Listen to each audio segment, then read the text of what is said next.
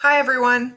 Are you currently teaching in Microsoft Teams and trying to assign cute little worksheets like these that you might find online that are in a PDF format that your students are unable to write over or share? So I want to go ahead and show you a couple ways that you can give this to them and in the assignment feature and they will still be able to type or write over the top. So this is going to be our sample document for this activity. And I'm going to go ahead and navigate to the internet, to my Google Chrome browser where I have up the very first option. This website is called PDF Candy. Just go to pdfcandy.com and you can see here where you can do lots of different things with your PDF documents. And in order to use this in Microsoft Teams, the first thing that you might be tempted to do is click right here where it says PDF to Word. However, this will convert your PDF to an older version of a Word document. So you really need to navigate all the way over here to the right and you're going to convert a PDF to a DOCX. That's the new version. So we're going to click there. We're going to choose Add File to locate the specific location in our File folder menu. Once that opens, use the left menu to navigate to the right location to find your file on the right. Just double click on the name of that file and it is automatically converting our document. And then all you have to do is click download file when it's done. Now I'm going to navigate over to my Teams class. And here I have gone into my team. I have opened the appropriate class. I chose assignments at the top and then I chose new assignment. So here I've given it a title. I've given my students specific instructions. I want them to be able to open it online and complete the problems and then make sure to return to this location and click turn in when finished. This is important so the teacher can view the completed work and give it a grade. But right here where it says add resources, this is where we're going to add our converted document. It's going to open up our File Explorer menu one more time. At the very bottom, we're going to upload from this device because it should be in our downloads file. And when I navigate to downloads, which is already there, you can see right here, this is going to be the last version and it is a DOCX file. I'm going to double click. It's uploading that file and I'm going to click done. And you can see right here in my assignment, it says that students can't edit this file. So I'm going to need to navigate to the right-hand side to these three dots. And I'm going to choose students edit their own copy. So when they click on this and open it online, each student will be able to complete his or her own copy of the work, which the teacher will be able to grade and view immediately. I can save this assignment or I can click assign. I'm going to leave this here so I can go ahead and show you some other options. Now, many of you are already preferred to use Microsoft Word. So here I'm just open to a blank Word document. There's a new conversion feature right here in Microsoft Word.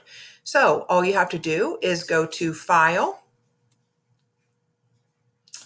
and right here, as if you were opening a new blank Word document, if I now navigate to the bottom and go to my File folder menu, I can actually just drag this PDF document by holding down the mouse and bringing it over here to the blank document and letting it go right on top of the document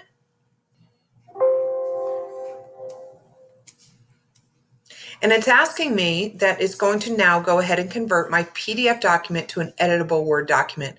I'm just going to say OK. As soon as it is done making that conversion, it should open right up in Microsoft Word. Perfect. At the very top, I might want to click Enable Editing. Choose OK. And now I just need to make sure that I go ahead and save this in a location of my choice so that I can find it to attach it to my team's assignment. So I'm just going to go to File, Save As, and again, go ahead and choose what file location here at the top. If you need more options, you can click here to open your file folder menu. Mine is going to be named the same. I'm going to change the end so I know it is the final version of this document and it's in my documents folder in math and click save. Now, if I'd like, I can go back to Teams. I can choose to leave this. Again, this was just one option. I can remove it. I can add this other resource. It's going to again look through my OneDrive folder at the very bottom, upload from this device. And this time I need to navigate to Documents and Math.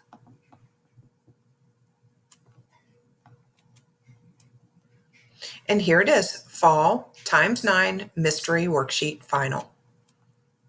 It's attaching a copy. I'm going to choose Done.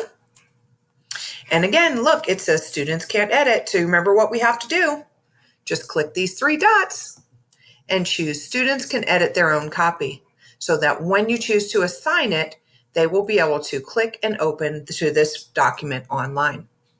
Let me show you just one more way that might work for you. So this time we're going to navigate back to the internet and I'm going to open what I've created is an online Office 365 PowerPoint template.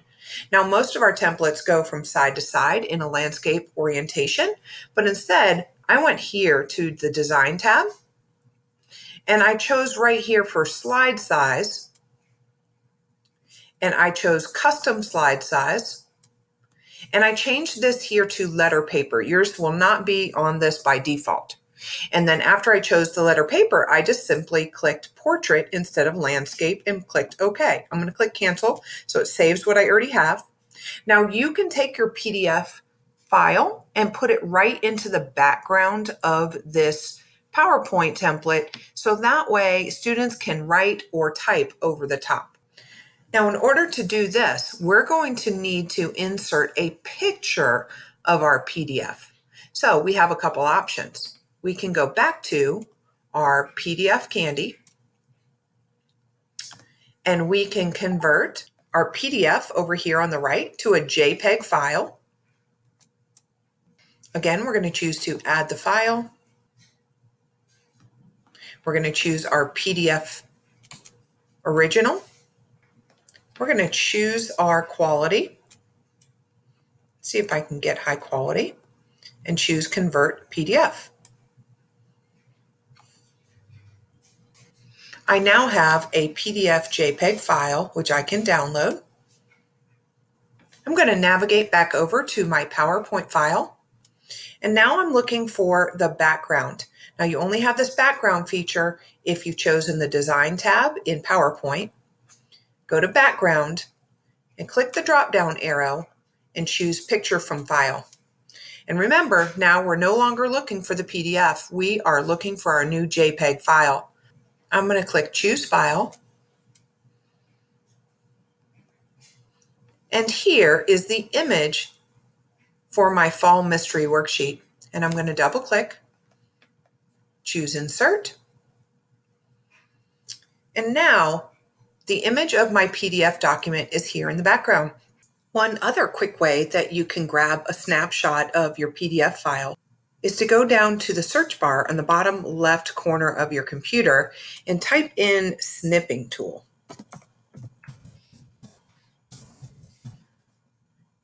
Now this is a default Microsoft product, so you should find that. You should be able to click and open this app. This is going to allow you to take pictures of anything you have on your screen, anywhere on the internet or on your desktop. So I'm going to go ahead and navigate back to my PDF. All I have to do on the snipping tool is click New. And I'm going to drag these hash marks around the area that I want to take a picture of. Once that comes up, I would hit Save. Make sure to save that image in a file location that I could later find so I could also import my JPEG file into the background on my PowerPoint. But some of you might be saying, well, how do my students actually complete the work? So what you can do is on the left, you can either click insert and choose a text box. This is very helpful for younger students. And you can just have it to say click to add text or teach them that they can add their own text box just the same. Or they can also go to draw and they can choose any pen tool and they can actually answer right over the top of this file. And as the teacher, you'll be able to see any of these edits directly from the team's assignment.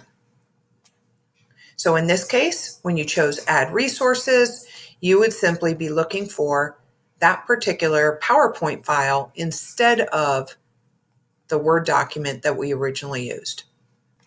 So easy peasy, make sure that each attachment that you create says students can edit their own copy and save the assignment for another time or click assign.